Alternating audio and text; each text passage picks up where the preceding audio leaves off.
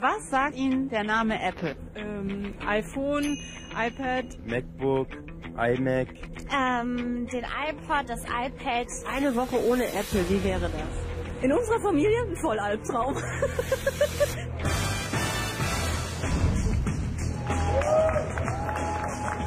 Apple infiziert. Und dann die Jugendlichen sehen, die da, oh, da stehen sie vor dem Laden. Viele ein Statussymbol. Apple ist einfach. Man merkt wirklich an kleinen Kindern, wie intuitiv diese Geräte sind. Aber so richtig zurechtkommen sie noch nicht mehr. Nein, überhaupt nicht. Apple ist seinen Preis wert. Ein Gerät, das uns Außerirdische äh, über ein Wurmloch zugeschickt haben. So perfekt ist das. Apple ist fair. Du weißt einfach, die fahren Milliarden Gewinne und ähm, könnten sich auch, was weiß ich, andere Betriebe leisten. Der Apple-Check.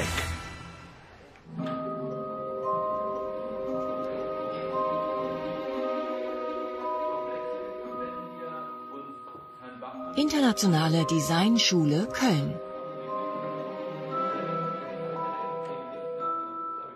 Hatte früher einen Windows-Rechner und ähm, da musste man natürlich das ganze Innere auch verstehen, um den manchmal bedienen zu können. Das muss man bei einem Apple nicht mehr. Ich wollte unbedingt einen Mac haben. Warum denn? Weil... War ganz schick.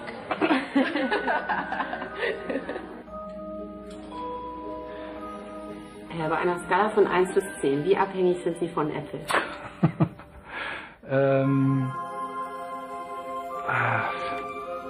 sagen wir acht. Also hoch. Schon ziemlich hoch, ja. Simone Fahrenhorst, Designstudentin im dritten Semester. dass es irgendwie klappt und das ist was super Positives. Also es ist einfach immer so, Apple ist für mich ähm, aber einfach nur, nur positiv, also Glücksgefühle eigentlich.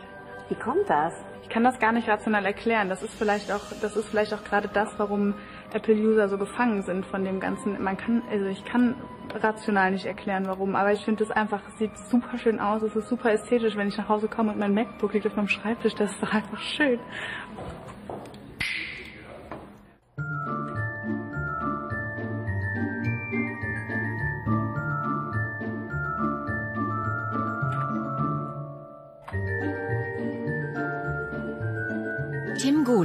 Freier Mediengestalter. Was hast du denn alles von Apple?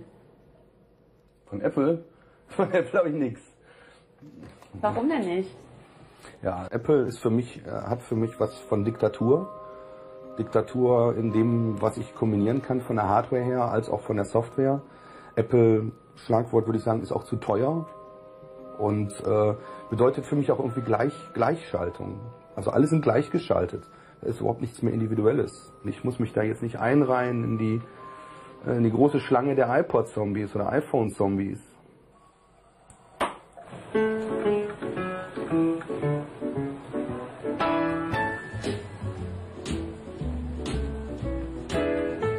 Dieter Gripp, Rentner. So, wenn ich Comedy höre, dann fange ich mit mal an zu lachen, nicht? Und die Leute, die gucken dann. Und warum den iPod von Apple? Ja, den hat mein Manager mir empfohlen. Das ist mein Enkel Tom. Tom, ich habe mich beklagt, ich sage, MP3-Player, das klappt nicht. Er sagt, du musst dir mal was Vernünftiges holen. Nicht? Und dann hat er äh, äh, äh, gesagt, ja, ich sage, was soll ich denn holen? Ja, hol dir ein, ein äh, iPod Touch. Ich meine, das hat so viele Möglichkeiten. Ich kann im Internet das Wetter sehen, die Börse und alles. Ich meine, das ist enorm. Nicht? Das bietet kein anderes Gerät.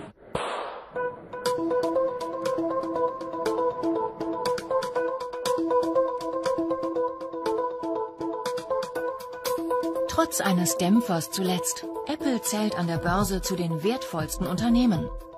Ungefähr so viel wert wie die Top 5 aus Deutschland zusammen.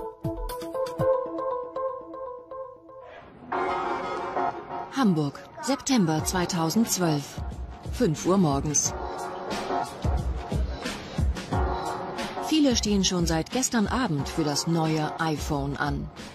Das sind ja fast zwölf Stunden. Ja. Das schaffen wir locker. Wir sind gar nicht schlafen gegangen. Ja, am Apple halt, ne? Man ist da ja so ein kleiner Jünger. Kleine Religion.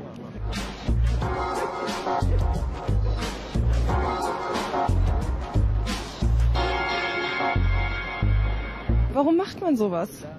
Wenn man kein iPhone hat, hat man kein iPhone. Was sagen denn so Ihre Freunde, Verwandte, Kinder? Die sagen, mir brennt der Helm. Ich finde es ehrlich gesagt ein bisschen seltsam. Es ist eigentlich nur ein Produkt, ja. Deswegen, ich kann es nicht verstehen. Sie würden sich nicht hier hinstellen? Niemals, nee.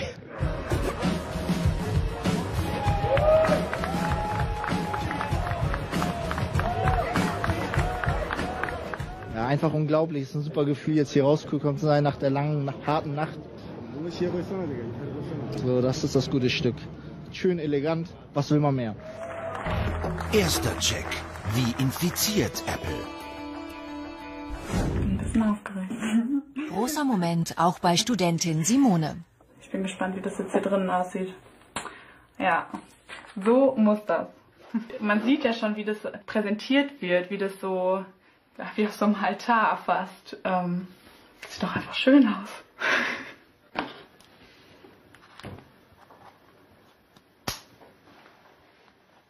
Es lebt jetzt irgendwie das erste Mal so richtig. Ich finde schon, dass sich das gut anfühlt. Ich nehme das bestimmt nachher mit ins Bett und äh, hab's bei mir. Kann man die Faszination für ein Gerät wissenschaftlich erklären?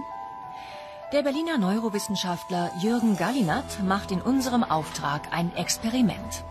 Was passiert in unseren Köpfen? Gallinat will dem Phänomen Apple auf die Spur kommen, mit Hilfe dieses Magnetresonanztomographens, kurz MRT.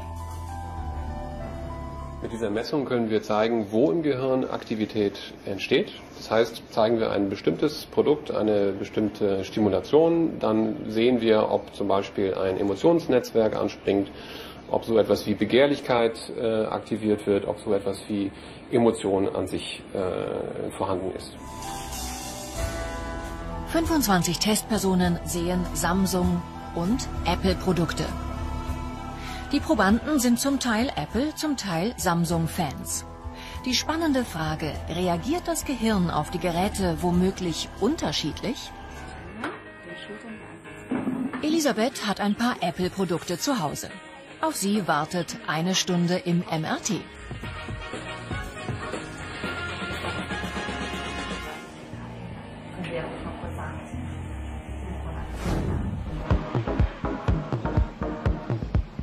Der Kudamm in Berlin. Ein schwarzer Kasten. Eine Baustelle. Eine Frage. Was könnte das denn für ein Laden werden? Hm, Ein Erotikcenter. Ein Autosalon? Ein Hotel? Was wird denn hier gebaut? Ja, nicht. Keine Ahnung. Ich liefer nur. Nee, weiß ich nicht. Sie wissen es nicht. Nein, weil Aber Sie grinsen dabei. Ja, darf ich nicht. Sie dürfen nicht sagen. Nee, darf ich nicht. Dann bleibt es ein großes Geheimnis. Wir vermuten, dass es ein Apple Store wird. Wie kommen Sie denn darauf? Ist wohl das Gerücht. Man weiß es aber nicht. Carsten Kilian, Markenstratege. Menschen sind neugierig und Apple schafft es, immer wieder die Neugierde zu erwecken, indem Gerüchte kursieren. Und wir Menschen, wir lieben zu spekulieren und Apple nährt diesen Wissensdurst und bei Apple gibt es ja sozusagen auch diese Redewendung, Apple kündigt an, wann Apple etwas ankündigt. Ladies and gentlemen, please welcome Steve Jobs.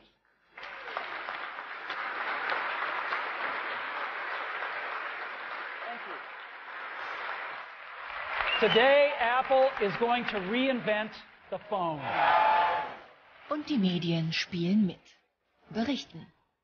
Ja, es wird größer, ja, es wird dünner und es kommt. Sounds like it's going to be the iPhone 5. Apple-Fieber in den Medien, für das Apple nichts zahlt. Und im Kino? Das MacBook als Pointe. Als Recherchemittel. Apple wertet Hollywood-Rollen auf, auch die einer Star-Kolumnistin. Die Liste lässt sich fortsetzen. 2011 etwa zeigten 40 Prozent der Blockbuster Apple-Produkte. Gavin Pullone, Hollywood-Produzent. Es ist sehr leicht für Apple, ihre Produkte unterzubringen, weil die meisten kreativen Köpfe hinter Film und Fernsehen sowieso Apple-Produkte haben. Wenn sie dann Figuren und Charaktere entwickeln, assoziieren sie diese mit ihren eigenen Vorlieben.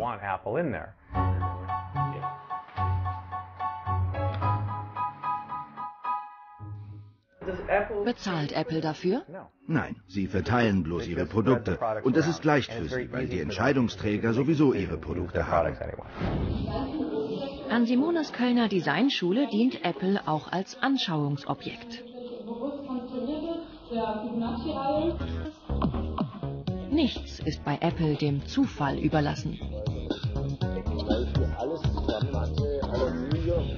Also es gibt nicht irgendwie ein Produkt, egal ob es ein kleinen Apple TV, äh, ob es ein Stecker, ob es eine Verbindung, ein Kabel, alle zusammen ergeben immer eine Linie der Gestaltung. Sie können sie nebeneinander legen und merken sofort, es kommt von Apple.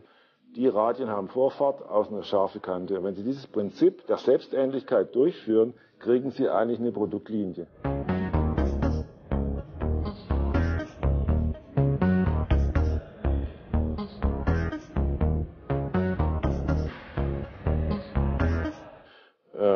Aufmachen, dann merken Sie schon mal, aha, es lebt.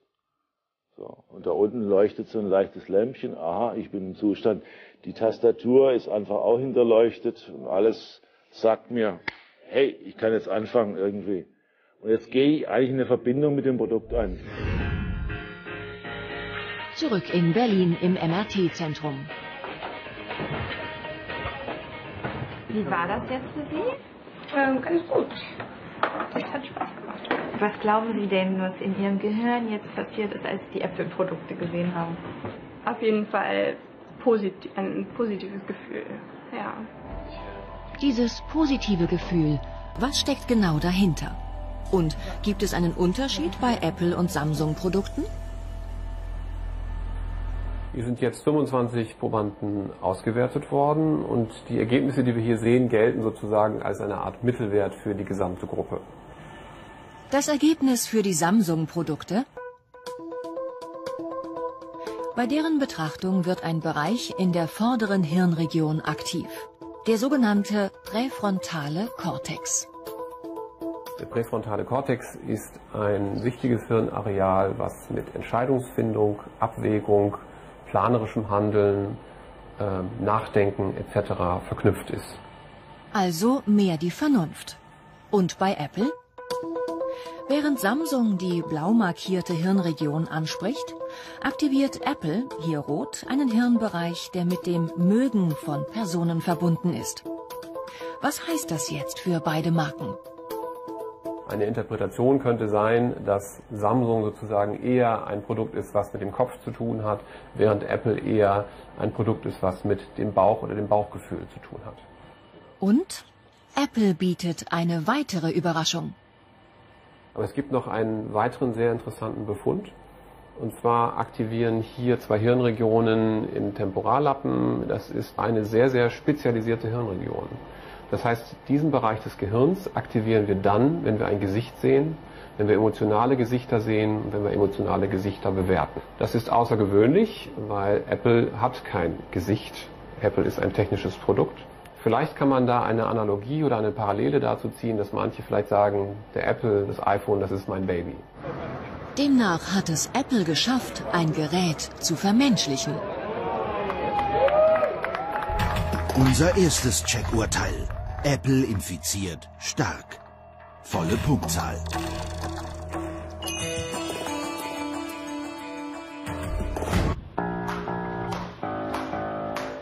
In dieser Bar kommt es gleich zum Härtetest. Mit Apple-Kritiker Tim und Apple-Fan Simone. Die Fronten sind immer noch klar. Alles mit einem angefressenen Apfel kommt nicht raus. Von uns ein iPhone und ein Samsung für einen Versuch. In unserem Auftrag noch ein paar Fotos machen, denn gleich könnte alles vorbei sein. Wir simulieren einen kleinen Unfall, Samstagabends in der Kneipe. Ein umgekipptes Bierglas, bei uns mal etwas anders. Ich habe mal eins richtig versenkt hier. Ich bin mal mit einem Handy in der Hosentasche in den Teich gefallen. Bei uns? Ja, ich habe den Akku rausgenommen, das Ding auf die Heizung gelegt und am nächsten Morgen angemacht und es hat einwandfrei funktioniert. Okay. Darf ich deins haben? Ich würde es gerne reinfallen lassen. Stirb, Samsung. Mal sehen, wer hier überlebt. Eins, Achtung, fertig, los, rein. Währenddessen freundet sich Dieter Gripp mit seinem neuen iPad an. Und äh, der hat natürlich auch Kamera und alles und äh, Kontakte, was habe ich da dann? Das ist, also, das weiß ich nicht. Zeitungen hat er, die kann man glaube ich abrufen irgendwie. Aber so richtig zurecht kommen sie ja noch nicht mit, Nein, oder? überhaupt nicht. Zweiter Check. Wie einfach ist Apple wirklich? Drei aktuelle Tablets an der RWTH Aachen im Institut Mensch-Maschine-Interaktion. Kleine Computer, angeblich einfacher zu bedienen. Die Frage für das Team um Professor Jan Borchers, welches ist am besten für jemanden, der sich kaum mit Technik auskennt? Die Messlatte. Ein intuitiv benutzbares Gerät, das nehme ich in die Hand. Und die Menge an neuen Sachen, die ich lernen muss, um es kompetent zu bedienen, ist ziemlich klein. Im Test das iPad 4, das Surface von Windows und als erstes das Samsung Galaxy. Ein wichtiger Kritikpunkt bei Samsung, zu viele Symbole auf einmal verwirren. Außerdem bedeuten mehrere Symbole das gleiche.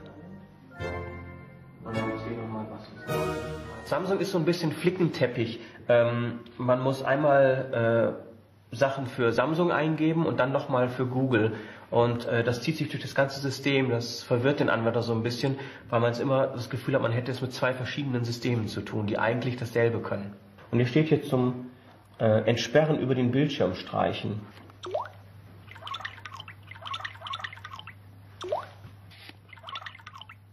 Für mich präsentiert es sich eher wie so, eine, wie so ein kleines Spiel, was ich gerade spiele. Ne? Also könnte ich da ein bisschen rumrühren und im Fischteich suchen, ähm, aber dass das Gerät sich irgendwann mal entsperrt, das ähm, hat sich nicht getan.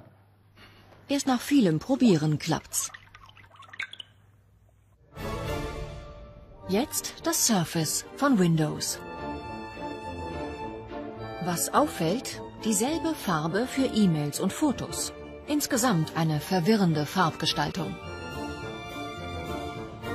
Sehr elegant, sehr stilistisch, sehr cool designt, aber von der Unterscheidbarkeit und der Wiedererkennbarkeit her nicht so gut. So, wenn der Benutzer jetzt das Gerät ganz normal anschalten will, dann kommt er wie bei allen Geräten ja auf so einen Sperrbildschirm. Aber hier weiß man überhaupt nicht, wie man ihn entsperren soll, weil es steht nichts da, was ich tun soll. Es ist keine Animation da, die eine Richtung suggeriert. Äh, wenn ich irgendwann auf die Idee komme, auf den Bildschirm zu tippen, selbst dann passiert nichts, außer dass das Bild ein bisschen hin und her wackelt. Und unerfahrene Benutzer, mit denen wir das probiert haben, sind ja auch gar nicht auf, drauf gekommen, wie man das Bild eigentlich entsperrt jetzt. Ne? Irgendwann kommt man auf die Idee, vielleicht hochzuwischen und dann ist man drin. Und jetzt zum iPad. Ähm, wir kriegen hier wieder den Entsperrbildschirm, mache etwas und wenn ich da angekommen bin, dann habe ich es entriegelt. Beim Tablet, wenn ich da ein kleines Ziel treffen muss auf dem Bildschirm, dann ist das vielleicht nicht so einfach. Ähm, und da hilft zum Beispiel die Tatsache, dass auf dem iPad die Ziele, die man antippen muss, meistens recht groß sind. Ein weiterer Vorteil, weniger Symbole. Es ist übersichtlicher. Ein Nachteil, Internet heißt hier Safari. Für jemanden, der das nicht kennt, schwer zu erraten. Angenommen, wir wollen ein Foto machen, dann würde man auch hier wieder nach der Kamera suchen. Die ist natürlich jetzt hier gleich auf dem Homescreen zu sehen. Unserem wunderhübschen Studenten hier. Ich tippe mal auf das Bild. Das Fazit. Also das iPad ist einfacher als das, was es sonst am Markt gibt. Und das gilt unabhängig von der Altersgruppe. Und Dieter Gripp hat trotzdem ein kleines Problem mit seinen 140 Fotos aus dem letzten Urlaub. Das weiß ich aber auch nicht, wie das geht. Nicht? Das ist also alles sehr schwierig. Ich will zum Apple Store gehen, weil ich ähm, äh, möchte, wie, wie ich die Bilder von, von, von diesem äh, iPad auf das iPod übertragen kann. Er hat auch noch ein paar andere Fragen, also geht er zum Apple Store. Allerdings ohne Termin. Wir begleiten ihn, sagen aber nicht, dass wir vom Fernsehen sind. Viele Fragen werden beantwortet, aber... Übertragung Ja. vom iPad aufs iPod. Ja. Wie war da die Beratung? Es war an für sich gut, nicht? Also bis auf den Punkt, dass, ich, dass mir gesagt wurde, das Gerät ist veraltet. Damit habe ich keinen Zugriff auf die iCloud. Und da muss man sich da was anderes einfallen lassen. Ich will nicht wieder Neues kaufen, schon wieder. Verständlich. Jetzt lassen wir uns mal was einfallen. Für Dieter Gripp.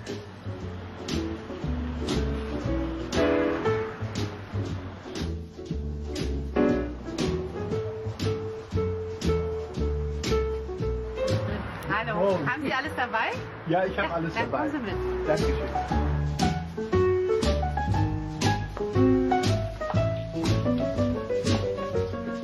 Hallo, Herr Gripp, Sölke ist mein Name. Max Herr Sölke.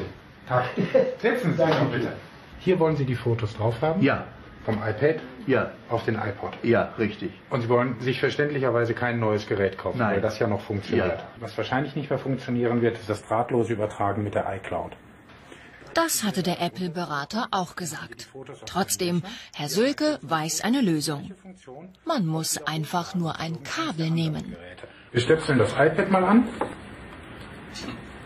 Und wir können uns jetzt die Bilder angucken. Und jetzt importiert er die. So, jetzt habe ich die Bilder auf dem Computer.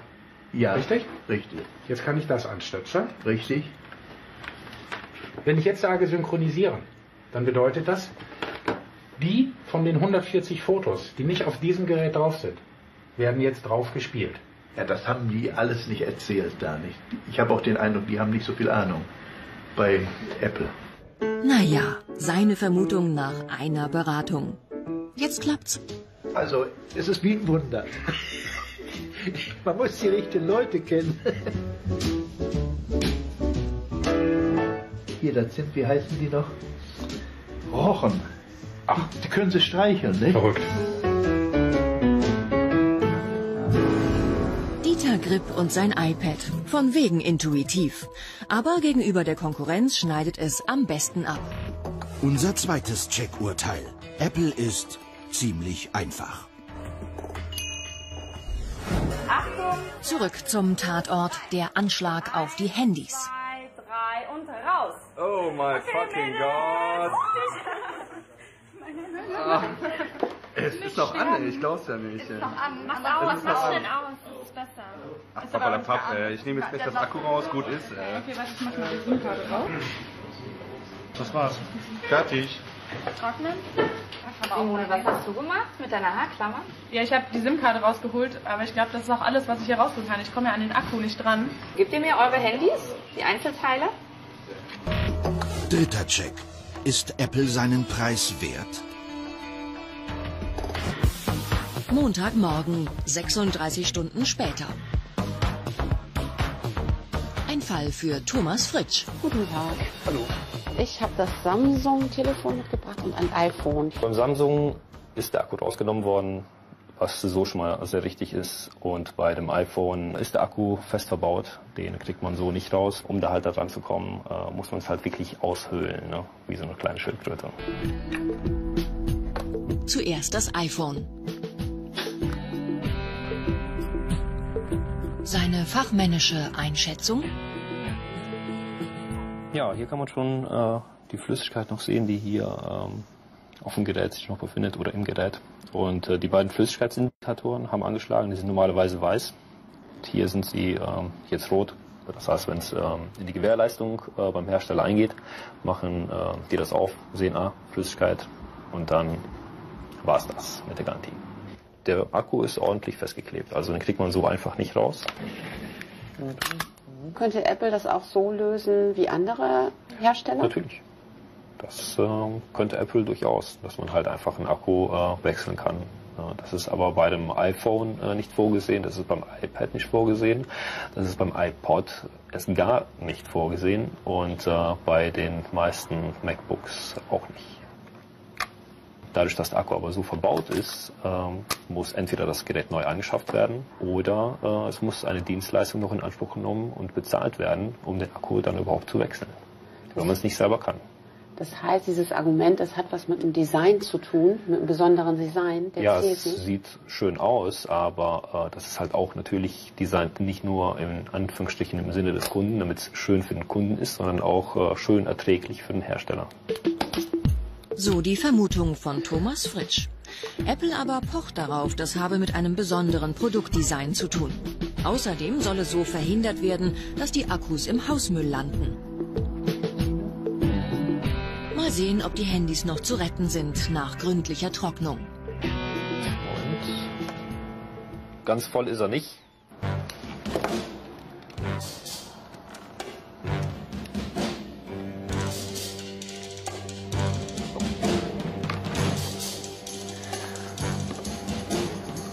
Nochmal vollladen. Und? iPhone? Es geht erstmal an. Wir sind im System drin. Selbst die Fotos kann man wieder anschauen. Und telefonieren? Geht nicht. Also telefonieren wird erstmal mit diesem Gerät so nicht möglich sein. Mhm. Fehlanzeige. Ob die Kamera geht. Tja. Jetzt hat sich's ausgeschaltet. Und das macht es immer wieder. Es ist halt äh, ein bisschen buggy. Es ist halt äh, der Wurm drin. Probieren wir nochmal Samsung.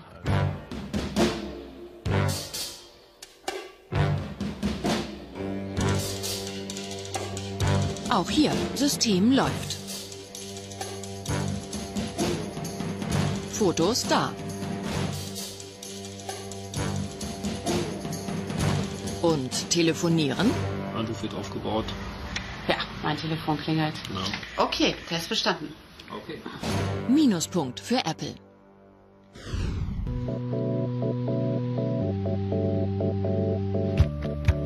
Stiftung Warentest. Michael Wolf ist dort Redakteur für Multimedia-Tests. Davon gab es in den letzten Jahren eine Menge. Wie hat Apple dabei abgeschnitten? Zum Beispiel beim iPhone 5. Das iPhone ist eines der besten Smartphones, was wir überhaupt je geprüft haben. Zu den großen Stärken des iPhone gehört auf jeden Fall auch die Kamera. Die macht also für ein Handy wirklich außergewöhnlich gute Fotos. Also die eine Schwäche, die das iPhone 5 mehr oder minder den Testsieg äh, kostet, ist der Akku. Der ist jetzt nicht katastrophal schlecht, aber er ist äh, bei weitem nicht so gut wie bei vielen anderen aktuellen Smartphones. Deshalb im Testheft von Januar das iPhone 5 drittbestes Smartphone. Jetzt die Tablets. Zu den Stärken des großen iPad zählt auf jeden Fall der schnelle Prozessor. Die Rechenleistung reicht also auch für 3D-Spiele spielend. Das ist äh, ziemlich schnell, das Gerät. Das Display ist auch wirklich gut, ähm, wenn auch nicht das allerbeste im Test. Das iPad 4 teilt sich den ersten Platz mit dem Samsung Galaxy Note. Und bei den leichten Notebooks teilt sich Apple den ersten Platz mit Asus. Apple Gute Qualität, aber es zeigt sich eigentlich auch, wenn man dann den Preis sich auch noch anguckt, dass sie oft ähm, gemessen an der rein technischen Leistung vergleichsweise teuer sind und dass es häufig günstigere Konkurrenzprodukte gibt, die das gleiche oder zumindest annähernd das gleiche leisten.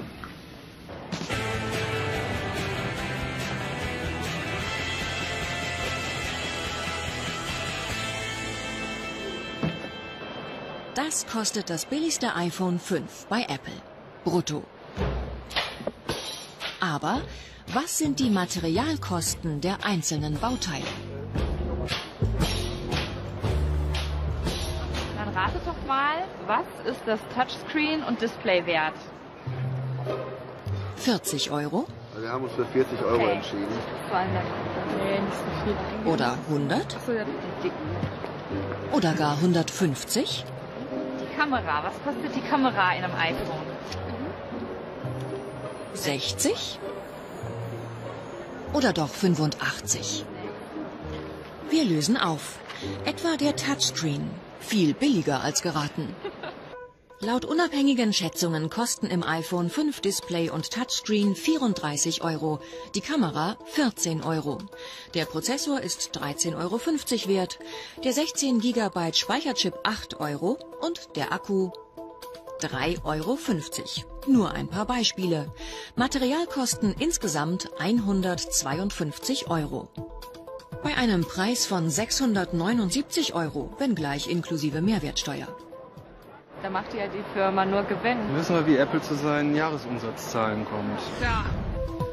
Apple, gute Leistung. Aber der Akku ein Ärgernis. Und die Gewinnspanne für den Kunden kaum nachvollziehbar. Unser drittes Check-Urteil. Apple ist seinen Preis kaum wert.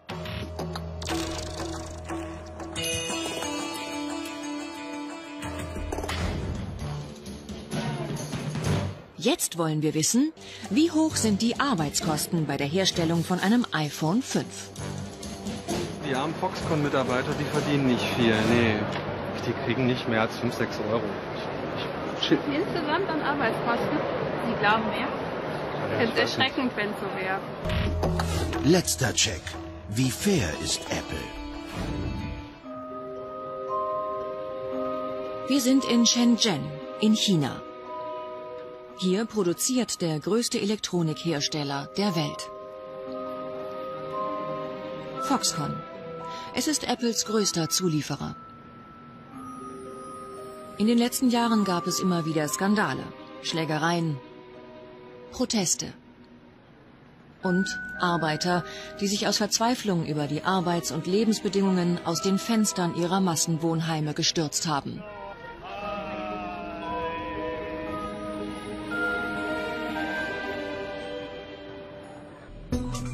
Wir sind mit einer Frau verabredet, die einiges davon mitbekommen hatte.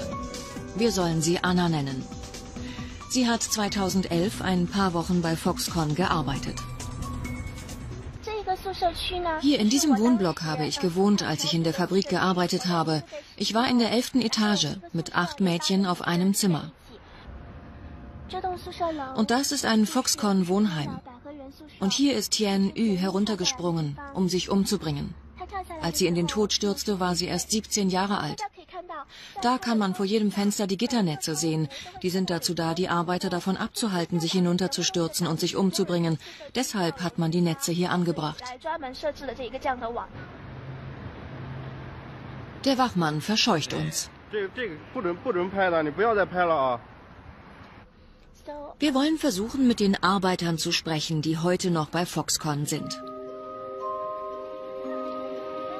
Ihr Mindestlohn sei anfangs 215 Euro pro Monat, erfahren wir. 35 Euro mehr, als das Gesetz vorschreibt. Viele erzählen uns, dass das trotzdem nicht reicht. Nach den Skandalen hat Foxconn auch auf Anweisung von Apple die Arbeitszeit gekürzt auf 60 Stunden pro Woche. Das ist übrigens immer noch mehr, als das Gesetz erlaubt. Und weil die Bezahlung so niedrig sei, fehle ihnen jetzt das Geld, erzählen uns einige Arbeiter.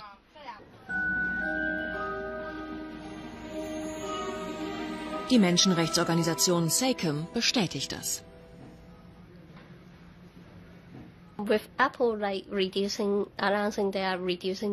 Apple hat angekündigt, weniger Überstunden machen zu lassen. Aber damit schadet Apple den Arbeitern in Wirklichkeit.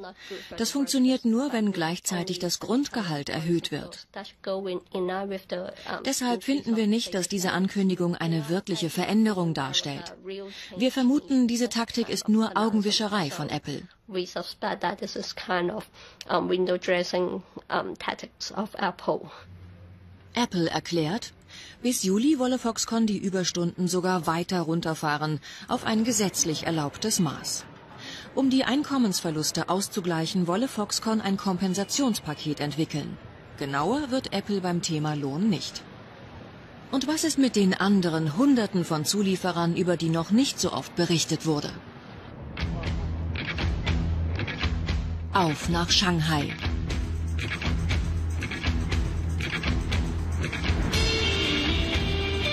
Um die Großstadt herum sitzen gleich mehrere Apple-Zulieferer. Schichtwechsel morgens um sieben bei der Firma Retain.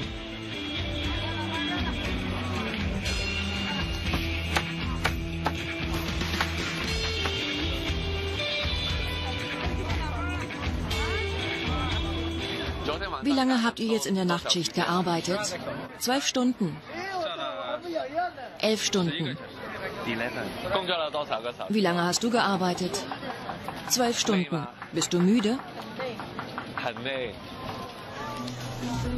Wir sind gewarnt worden, nicht in aller Öffentlichkeit zu viel mit den Arbeitern zu reden. Alles wird überwacht. Aber ein Arbeiter erklärt sich bereit, uns in einem abgelegenen Hotel mehr zu erzählen. Am Anfang ist er nervös. Erst als wir ihm versichern, sein Gesicht nicht zu zeigen, beginnt er zu reden. Zurzeit arbeite er nur acht Stunden. Das sei auch die offizielle Arbeitszeit. Vorletzten Monat sah das anders aus, erzählt er uns. Ich habe jeden Tag zwölf Stunden gearbeitet. Kein einziger Tag war acht Stunden. Es waren immer zwölf Stunden. Es gab keinen freien Tag. Ich arbeite im Stehen, den ganzen Tag oder die ganze Nacht lang. Ich habe das Gefühl, dass meine Beine das gar nicht ertragen können. Aber er brauchte das Geld, denn für acht Stunden pro Tag bekäme er umgerechnet nur 177 Euro im Monat. Der Grundlohn sind 1450 Yuan für acht Stunden Arbeit. Reicht das aus? Das reicht natürlich nicht aus. Wir wollen mehr über die Arbeitsbedingungen bei Retang erfahren und wenden einen Kniff an. Wir haben uns Visitenkarten drucken lassen, wollen uns als deutsches Elektronik-Startup-Unternehmen ausgeben.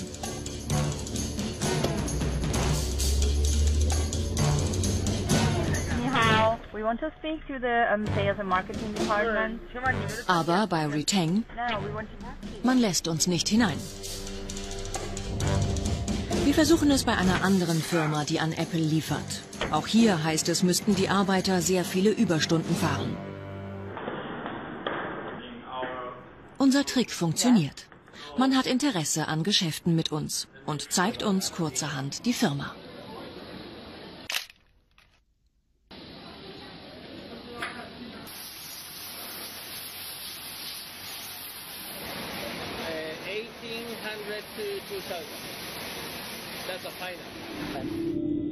Arbeiterinnen, die im Stehen arbeiten. Wir erfahren nicht, wie lange an einem Stück. Der Stundenlohn, heißt es, beträgt rund einen Euro. Überstunden werden etwas besser bezahlt. Die Arbeitsplätze, die man uns zeigt, sind spartanisch ausgestattet, ansonsten scheinbar ordentlich.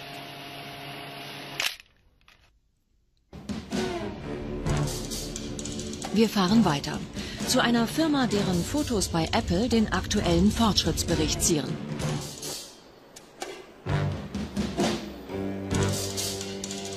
QSMC. Wir warten vor dem Tor, bis die Arbeiter von QSMC abends aus der Schicht kommen. Bevor sie sich in den Wohnheimen schlafen legen, essen sie auf den kleinen Märkten um die Fabrik herum.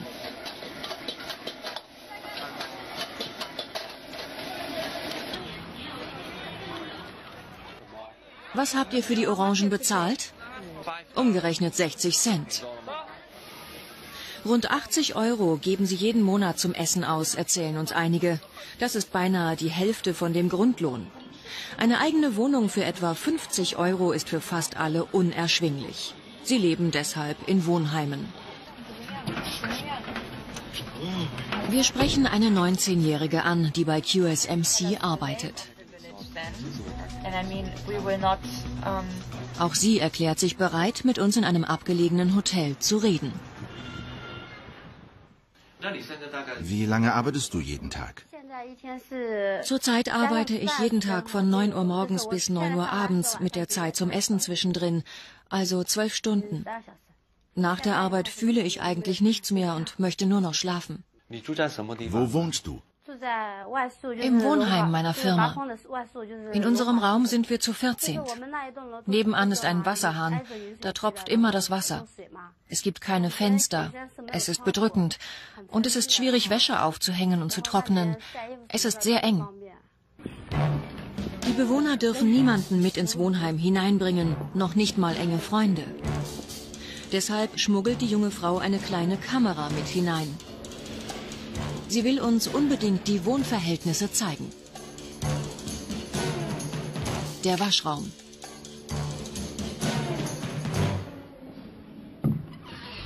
Und der Schlafraum. ohne Fenster.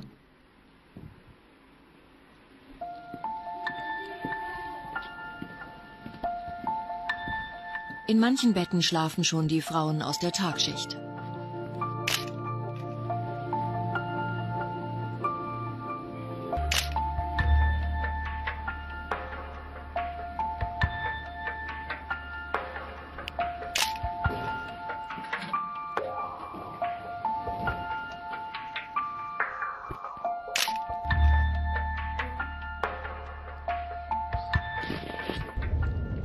Wir fahren ein letztes Mal los, wollen von Fabrikbesitzern wissen, warum sie so schlecht zahlen.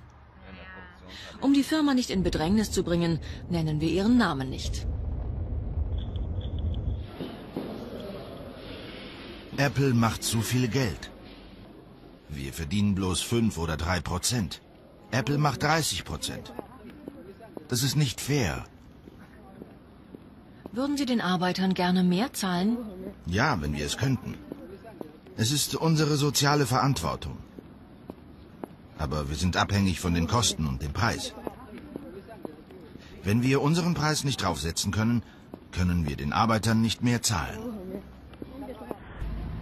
Apple will zu diesem Vorwurf keine Auskunft geben. Zum Abschluss zeigen wir der jungen Frau von QSMC, dem Apple-Zulieferer, unsere Bilder aus der Kölner Designschule.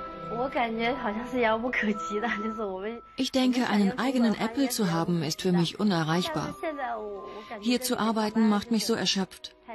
Ich fühle mich, ich weiß nicht, wie ich das beschreiben soll. Apple-Handys werden so teuer verkauft, aber wir sind von der Arbeit so erschöpft. Ich finde, die Leute sollen davon erfahren.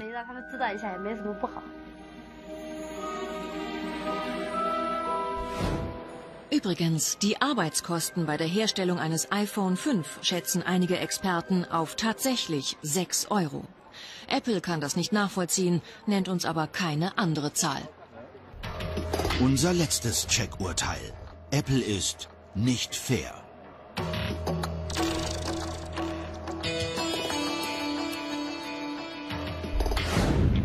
Apple, eine Kultmarke.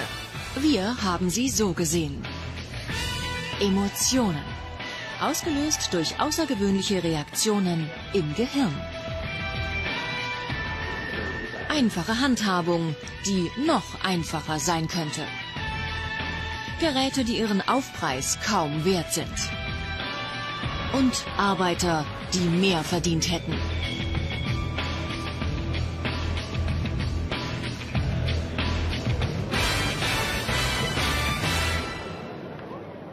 Mehr Videos finden Sie in der Das Erste Mediathek.